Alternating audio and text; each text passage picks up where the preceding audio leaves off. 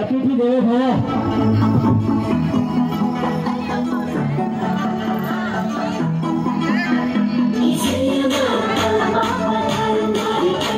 Thank